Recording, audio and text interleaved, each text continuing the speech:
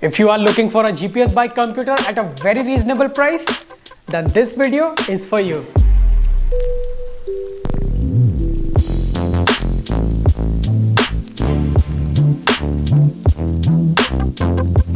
So hey guys, welcome back to the channel. My name is Vishu. So this is EXO-SS G Plus GPS bike computer, which is probably one of the smallest yet powerful GPS bike computers available in the market currently that you can use to record your ride as well as upload directly to Strava. As well as this small thing can easily support a heart rate monitor, speed sensor as well as cadence sensor. So let's see what all we have inside this.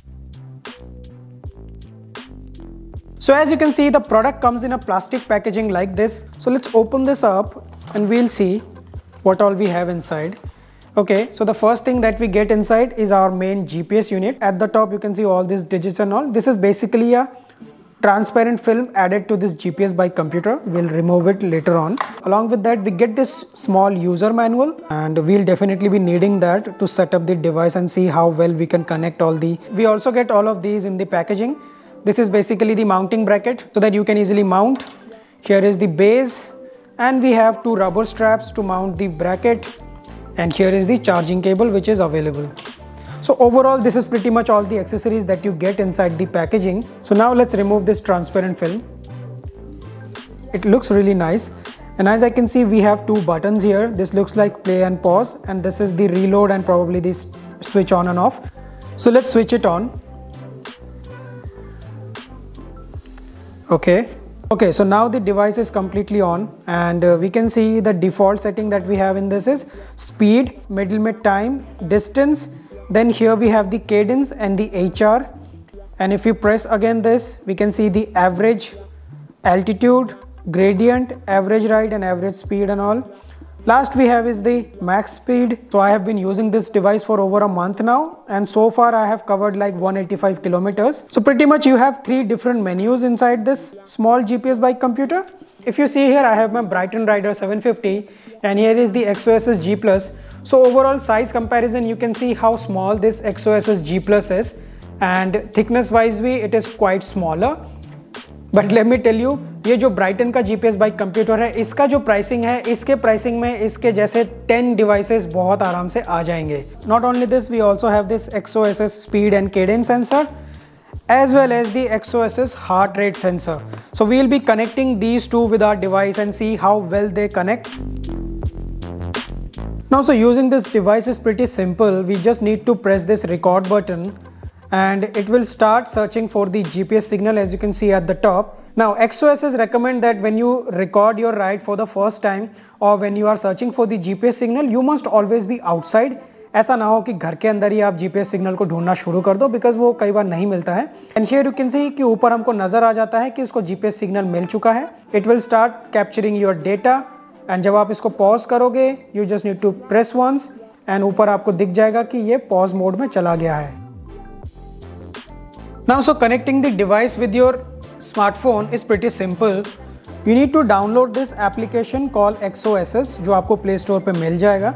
At the very top here you can see we have all the devices which are available with XOSS currently हमारे पास G plus है so we'll be selecting the G plus and then you need to press this connect button It will start looking for your GPS bike computer and here you can see it has found the GPS bike computer.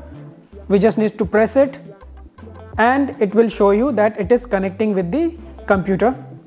Here you go, it is connected. At the bottom, it will show you all the rides that you have done so far. For an example, if I show you the workout tab, you can see all the rides which I have captured with this GPS bike computer. It shows you everything. And at the profile button, you can connect your Strava जैसे मैंने connect कर रखा है training peaks है तो उससे भी आप कर सकते हो। अपनी इंफॉर्मेशन पूरी आप इसके अंदर डाल सकते हो। So now I am gonna connect this heart rate sensor and this cadence sensor with this G P S bike computer so in order to connect your heart rate monitor and cadence sensor we need to press these two button together इस तरीके से press करके रखना है। And here you can see it is trying to find out the heart rate monitor and cadence sensor नीचे आपको जो cadence sensor है वो दिखेगा कि वो कनेक्ट हो चुका है। Let me rotate so that it captures the data and we'll see, okay? As you can see there, it is capturing the data. I'm rotating it pretty fast and okay so हमारा heart rate monitor भी इसके साथ connect हो चुका है। Cadence is connected H R is also connect as you can see there heart rate का हमारा देखो, वहाँ पे लाइव डेटा हमको शो कर रहा है। And here we have the cadence data available as well so I am back to the main menu and we can see the heart rate monitor is connected as well as the cadence sensor. So now when you start riding, it will keep capturing all the data.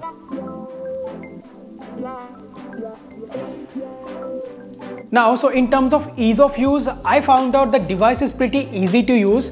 Setting up this device to your bike is pretty simple आपको बहुत ही simply बस इसको अपने bike के साथ mount कर देना है beat on the handle bar और on the stem and starting the GPS bike computer is pretty simple just switch it on and जैसे ही आप इसके प्ले का बटन या रिकॉर्ड बटन को ऑन करते हो it start capturing the GPS signal and जैसे ही इसको जीपीएस सिग्नल मिल जाता है your ride is started and once you go for a ride it will keep on tracking all the data आपका ओवरऑल कितना स्पीड है, उसको ये पूरी तरीके से फाउंड आउट कर लेता है। And if you have connected the heart rate monitor speed sensor cadence sensor तो उसके डेटा को भी ये बहुत इजीली आपको शोकेस कर देता है। Like currently you can see in the video that it is showing me my heart rate as well as the cadence sensor कि ओवरऑल जो उसका स्पीड है वो कैसा है। And since I have been using this device for over a month now, so what I found out that in terms of recording the data, this records pretty easily. But something which you need to take care कि जैसे ही आप किसी underground में जाते हो like कहीं पे सबवेज होते हैं या कुछ भी होते हैं वे यू गो देर तो वहाँ पे इसका जीपीएस सिग्नल कई बार लॉस्ट हो जाता है and in order to find that G P S data you need to be back again to an open place open place में जाने के बाद ही this can find out the G P S signal and it will start working again but I believe that is similar with all the G P S devices because अगर G P S का signal ही नहीं रहेगा तो फिर यह आपको overall जो डेटा है स्पीड का वो कैसे शो करेगा? In terms of accuracy of the data I found out that it is almost close to the accurate मतलब ये काफ़ी क्लोज ऑफ़ डेटा आपको पूरा प्रोवाइड कर देता है।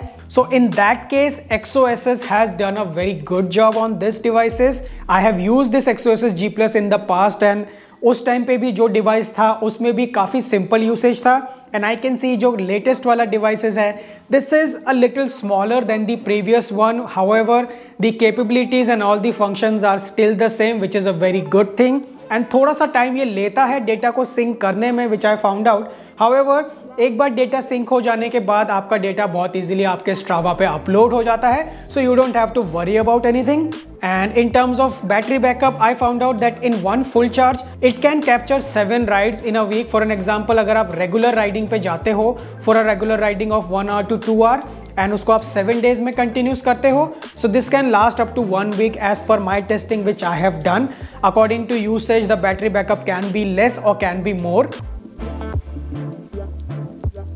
Now you must be wondering what is the price of this XOSS G Plus. So on XOSS website, this device is listed at the price of $35 which is roughly about 2700 rupees without the shipping cost because जो shipping cost है वो extra लगता है and since considering this device is coming from out of India तो obviously जो shipping का charges होगा and there could be custom duties involve as well in India this device is easily available for somewhere around forty five hundred rupees से five thousand rupees के बीच में ये available है.